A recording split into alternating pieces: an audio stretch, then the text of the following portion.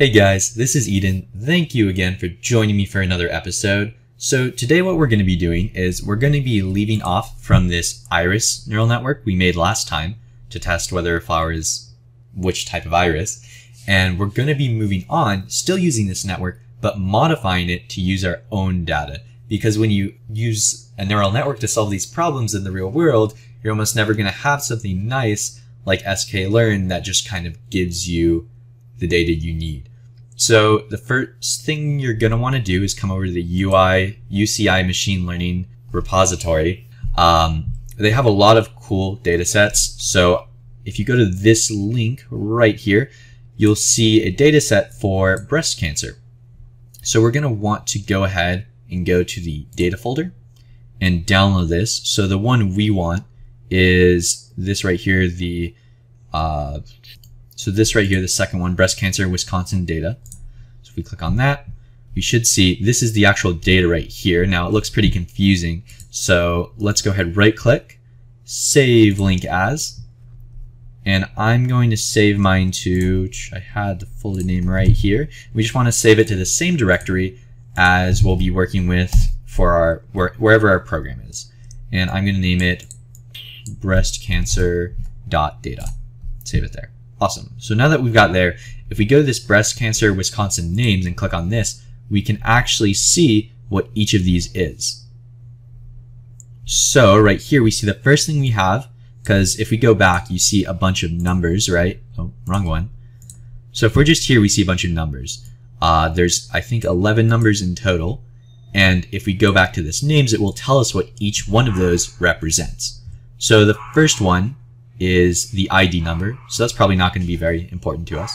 Clump thickness, uniformity of cell size, all this other stuff. And importantly, the last one, the class, is 2 for a benign and 4 for a malignant.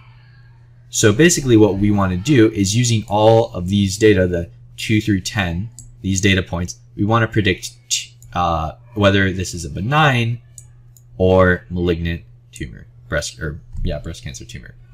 So let's get to it. So now that we have that saved, and I'm just using the neural network right here. This is the neural network that we made in the last episode. So if you haven't seen that, go to the description and definitely check that out.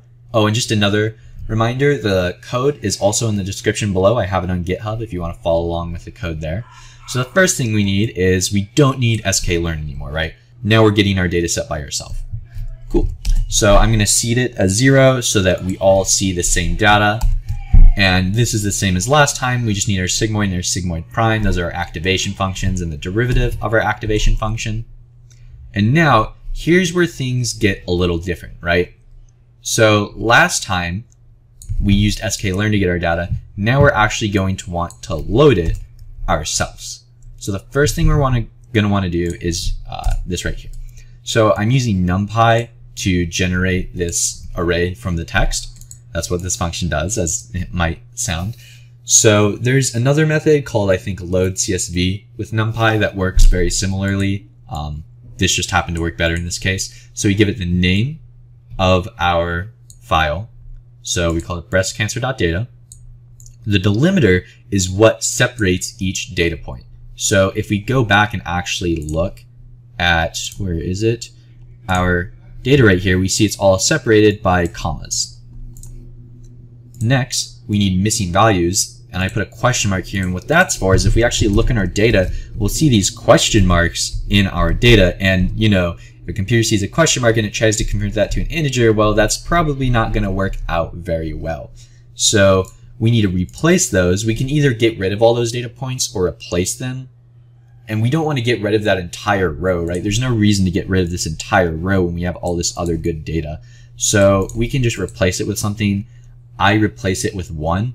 Now, whether or not this is a good choice, uh, we could probably come up with something better, but this, this will work for us.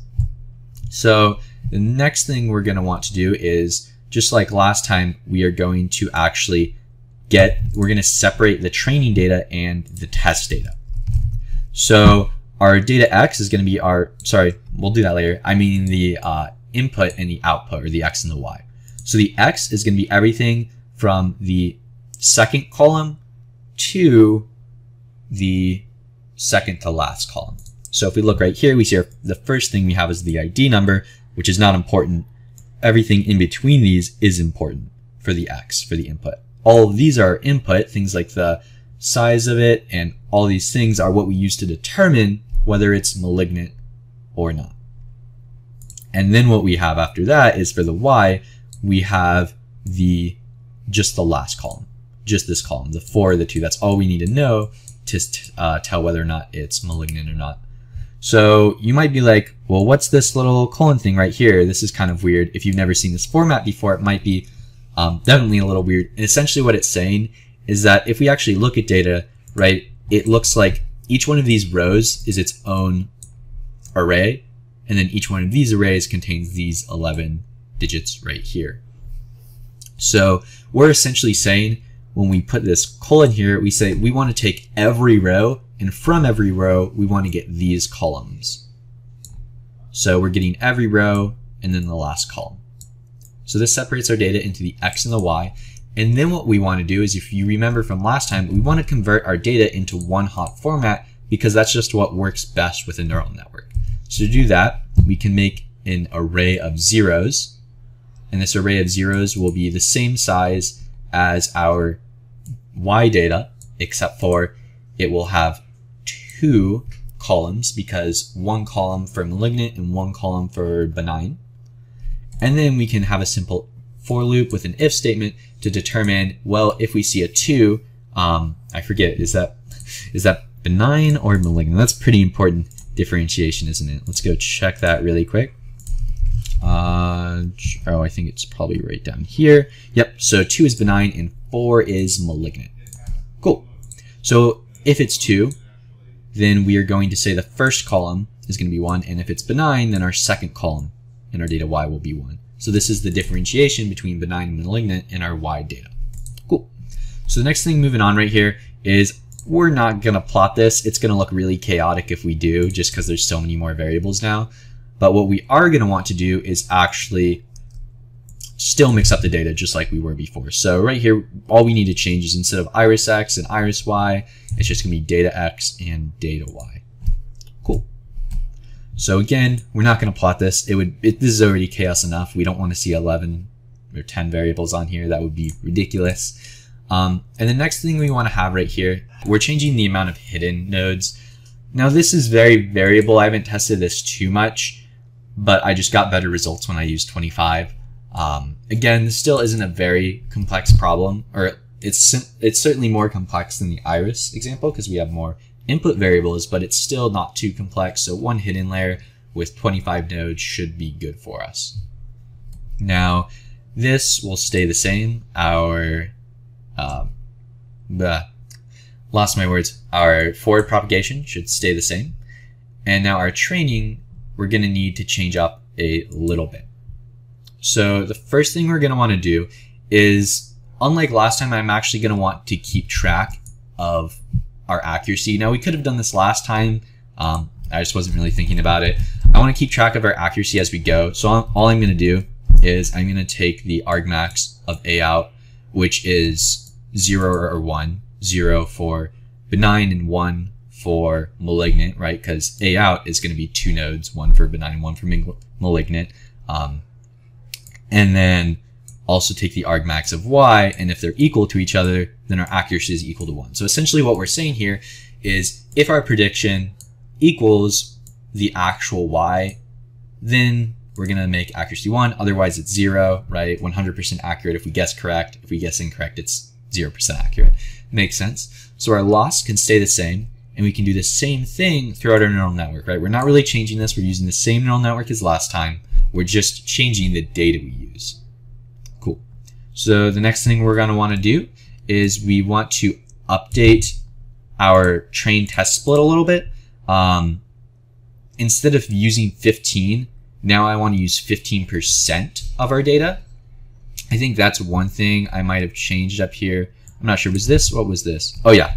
I'm sorry. I didn't notice earlier. I added the trained, the test split right here.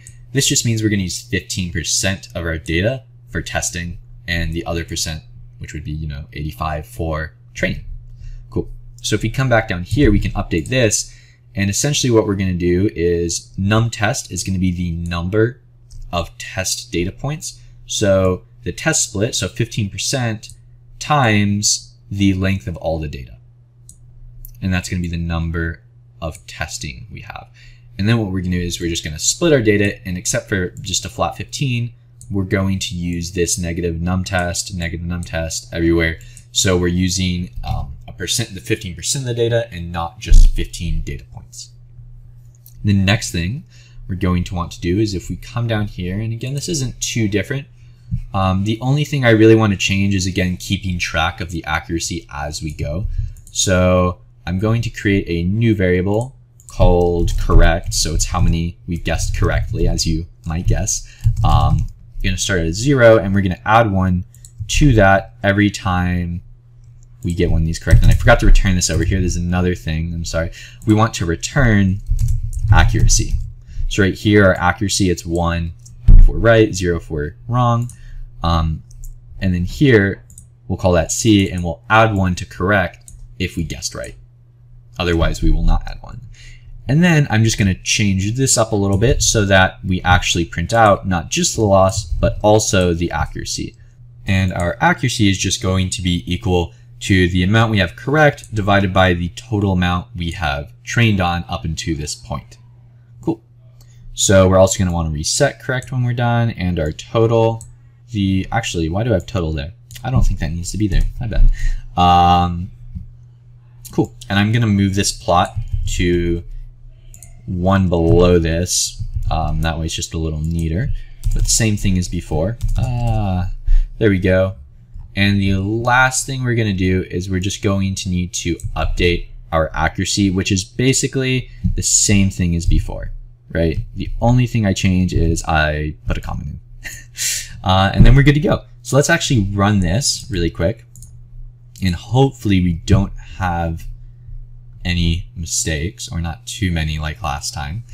And this data set, I will say, is a bit more volatile than the iris data set. Um, try changing up some of the, I, I really recommend changing up some of these hyperparameters um, and some of the network configurations just to see what kind of differences happen. Oh, here we go, we're training. So we start off at very low accuracy, of course, because it's completely random. You can see we grow to 65, 49, 40, and we get all the way up to the 90s. So I think I'm letting, how long, how many epochs do I have this going on for? Ah, yes, I am going on for 1,500 epochs. We probably don't need that many. Um, it looks like we're going to stick around the 90s right now. So this should be pretty good. Awesome, I'm back. So that finished up. And you can see here we have a graph of our losses. As I said, it's quite a bit more volatile. You can see all these huge spikes right here. But as we get towards the end, we definitely uh, converge at this value right here. And we get a solid 97% accuracy. So that's pretty good. Um, we could, we should probably, if we were really doing this, we would do some more testing to make sure that this isn't overfitting, which is something we'll go over later. Um, but that's how you use your own data. So thanks for watching. Again, the link is in the description. If you want the code, it's on GitHub. The link to the previous and the next episode will also both be in the description. And I'd really appreciate it if you like these videos and you think they help you out, give the video a like and subscribe. Thank you very much and see you guys in the next episode.